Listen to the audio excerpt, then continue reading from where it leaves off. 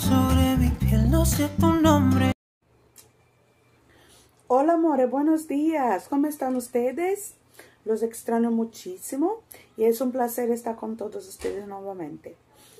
Bom, a gente vai iniciar agora nosso capítulo 5 tá?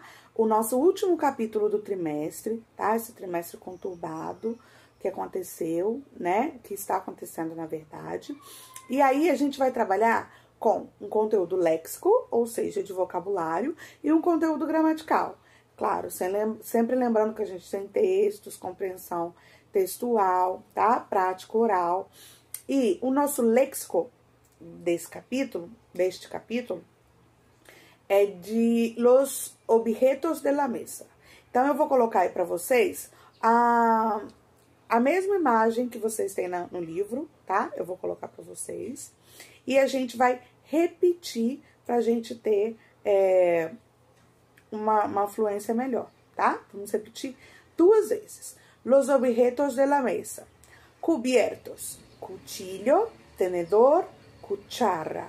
Cuchillo, tenedor, cuchara. Copa, vaso. Silla, salero, mantel, taza. Mesa, servileta, azucarero, palidero, eh, dientes, botella de agua, plato. Los cubiertos son cuchillo, tenedor y cuchara. Los cubiertos son cuchillo, tenedor y cuchara. Copa, vaso, silla, salero, mantel. Taza, mesa, servilleta, azucarero, palidero, montadientes, eh, botella de agua y plato. Y estos son nuestros objetos de la mesa, ¿sí? Ahora, en la página 34, tenemos un contenido gramatical que se llama pretérito pluscuamperfecto de subjuntivo. Primeiro, a gente tem que saber que os modos verbais, eles são divididos em três. Então, a gente tem indicativo, subjuntivo e imperativo. É, no indicativo, a gente sempre vai indicar certeza, tá? E aí a gente tem seis tempos verbais, seis ou sete, no espanhol a gente tem um pouco mais. E aí, é, no subjuntivo, a gente vai indicar incerteza, tá? Ou seja, o que, é pretérito? Passado. Pluscuamperfeito, ele é mais que perfeito, tá? Do subjuntivo, ou seja, ele vai indicar um passado do modo subjuntivo, que vai indicar incerteza. E quando a gente vai utilizar? A gente vai utilizar quando a gente quiser falar sobre uma condição, mas essa condição tem que estar ligada ao passado, tá? É muito parecido, na verdade, é a tradução é, do nosso tivesse falado, tivesse ouvido. Se eu tivesse te ouvido, não teria ocorrido isso, tá? É, quem sabe ele não tivesse mais sorte se tivesse tentado por uma terceira vez segunda vez, ok? Então, a gente tem aqui o haver. Lembrando também, gente, que no espanhol a gente não tem o verbo auxiliar como ter, tá? A gente só tem o verbo haver. Então, a gente tem o verbo haver. A gente tem duas terminações. Uma é ra e a outra é iese tá? O iese, ele é mais parecido com o português. Então, yo hubiese, tu hubieses, ele hubiese, hubiésemos, hubieses, hubiesen. E aí, terminação curar, hubiera, hubieras, hubiera, hubiéramos, hubierais e hubieran, tá? Então, a gente tem essas duas é, terminações.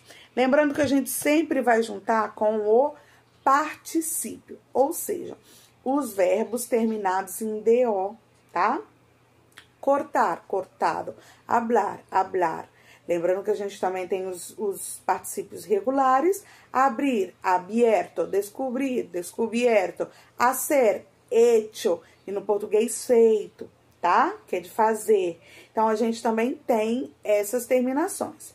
É, eu vou ler aqui umas, umas orações e eu vou colocar para vocês é, no, no, no, no vídeo também, tá? É, frases. Me enfadaria se Carlos e tu hubieras tenido la culpa. Si yo hubiera tenido el final de semana libre, habría ido contigo al cruero. Habría ido. Imagín, imagínate que tus amigos no te hubieran avisado. Nos habríamos ido a la playa si la professora hubiera dicho que não havia classe. Então, a gente tem aqui alguns exemplos e é exatamente isso que a gente vai fazer nos exercícios. É, não gostaria muito de traduzir, mas eu espero que vocês entendam é, a utilização desse tempo verbal, porque se traduzir fica muito fácil, tá? Então, a gente sempre vai lembrar do tivesse feito, tá? Vai ajudar muito. É, a nossa aulinha termina por aqui.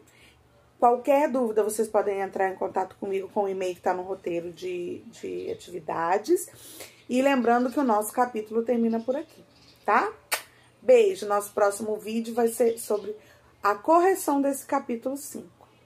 Adiós!